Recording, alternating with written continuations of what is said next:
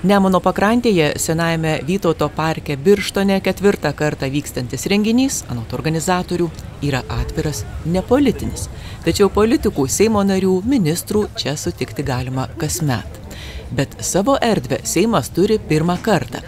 Čia lankytojai gali gyvai pakalbėti apie Seimą ir parlamentarizmą apskritai.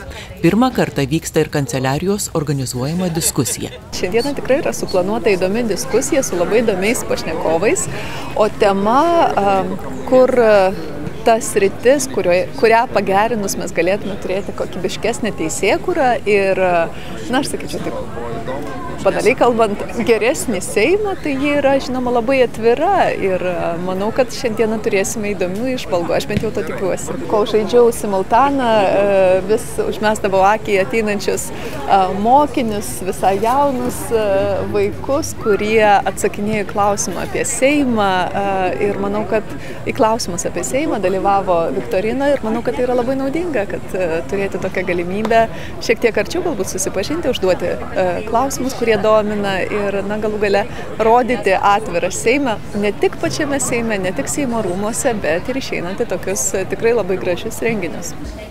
Seimo kanceliarijos darbuotojas, tyrimų skyriaus vadovas, politologas dr. Alvidas Lukošaitis pasiūlė diskusijos temą. Seimas priima iš tikrųjų labai daug teisės aktų ir dėl to labai stipriai kritikuojamas jisai. Iš savo tyrimų žinau, kad mm, parlamentai, kaip galintys pakankamai kokybiškai dirbti, subręsta per 3-4 kadencijas. Stabilizuojasi viskas, žmonės pramoksta išrinkti dirbti. Tačiau pas mus nieko panašaus ne, nenutinka. Ir dargi blogiau. Todėl manau, kad keulės truputėlį slypi giliau nei taisyklės, struktūros ar išrinkti Seimo nariai, ką beje pirmiausia žmonės ir puola kritikuodami. Um, keulės kultūroje ir keulystės visos e, slypi kultūroje ir čia yra e, sudėtinga problema Lietuvoje neištyrinėta. Trumpai galėčiau įvardinti tris dėmenis. Kultūra e, plačiausia prasme, kuri atsako, kas yra lietuvis, politinė kultūra, kuri parodo santyki žmonių su politinė valdžia, su valdžios institucijomis ir panašiai, ir parlamentinė kultūra, kuri konkrečiai jau leidžia kažką pasakyti apie teisėkuros tradiciją, papročius, įpročius ir panašiai. Taigi nieko nelaukdamas pradedu diskusiją. Prisiminimai. Šioje diskusijoje savo argumentus dėsto ir buvęs Seimo pirmininkas Arūnas Valinskas. Jo teigimu, problemos lypi ne tik politikų, bet ir rinkėjų kultūroje. Svarbiausia, ką aš noriu pasakyti, kad žmonės nesitikėtų aklai visuomet e, malonių tik iš valdžios, nes jeigu nori gyventi geriau, tai nereikia laukti leidimo, tai galima daryti jau dabar. Ir kaip aš sakau, kuo mažiau mes tikimės iš valdžios prieš rinkimus, tuo mažiau mes ją nusiviliam. Nes dažniausiai mes vis dėlto, taip sakant, į ją sudedam per daug nelabai pagristų e, vilčių. Tai ar rinktume prezidentą, ar Seimą, ar vyriausybę, ar ministrai paskirti, iš pradžių vyriausybė kaip ir gera, po to bloga. Ir taip belaukdami geresnių laikų, žiūrim, kad visą gyvenimą ir nugyvenam. Tai va, to laukimo kultūra turi keistis kadangi pats ragavau tos duonos, aš žinau, ką jie jaučia, ypač tokiais momentais, kaip dabar mūsų šalis yra net ne vienos krizės akivaizdoje.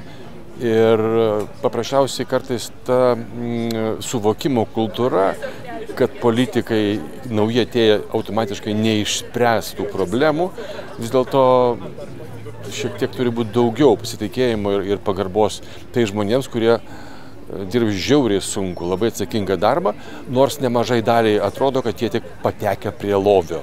Jeigu norit patys, pabandykit. Dar vienas diskusijos dalyvis - daugiau kaip dešimtmetį Lietuvoje gyvenantis italas, aktyvus visuomenės veikėjas, kulinaras Gianluca Demarco. Kviečia nebūti lietuviams per daug savikritiškiams. Sai così kad pabaltija esam baisiausia šalyse, ne? Baisiausia. Kai pristato žurnalistai, atrodo, kad mes, nu, vos vilkam koją. Ne, Estija atrodo visą laiką turtinga. Ir kada nors buvote Estija dirbti? Estija neturi autobaną. Aš atidarau ladeinę. dėl nuvežti ledų nuo vieno miestelio iki kito miestelio užtrukdavo kaip per Lietuvą visą savaitę darbo. Latviai dar baisiau. Ateini už sieną po panevežys ir mels Dievą iki Rygą, gali rozančių melsti. Bet jūs nepastebėt paprastus dalykų. Bet jeigu Seimo narys tau pasako, bet Rail Baltica, iš kur tavo Rail Baltica? Iš Lietuvos. Kas sugalvoja? Lietuviai. Jūs nepastebėt, kad šitą tautą yra daug gerų dalykų, daug dalykų dalykų. Kai aš sakiau, kad nors apie Lietuvą, prisiminkit, kad Italija yra blogiau. Okay. Tada galite neįsižeisti, jeigu sakiau, ką nors baisus. E, sklenda visokių pažadų, kuria nepričiom su to, ko realiai reikia Lietuvoje. Jo neegzistuoja, jums yra nereikalingos. Pavyzdžiui, aš gyvenu Vilnius mieste. Pastoviai man, man sako apie pensiją ir apie daugiau darbo vietą.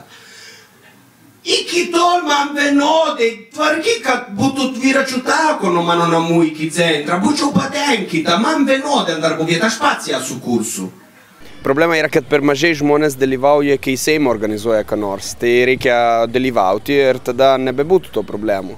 E, kol mes žmonės norim būti toli nuo, nuo Seimo, tada Seima nebežino, ką, ką daryti. Ar mes kalti, ar įstatymų kalti, ar, ar kultūra kalta. Niekas nebežino, kur dėtis. Tai reikia tiesiog prisiartinti, prisišnekėti, kartais diskutuoti, kartais dapykti. Va šitą reikia išmokti, o po to susitarti, rasti bendrą sprendimą. Tiek, kiek gyvenate Lietuvoje, 15 metų? 14 eina 15, jo. Aha. Ar Seimo darbą stebite, ar domitės? E, pastoviai, man yra įdomu ir e, labai, labai reikia dalyvauti. Ten yra parašyta netgi Europos parlamento, kad piliečiai, kur gyvena kitam valstybė, bet yra Europos piliečiai, turi dalyvauti ten gyvenimą. Tai ten, kur yra. Tai aš dalyvauju. O rinkimuose nežada dalyvauti?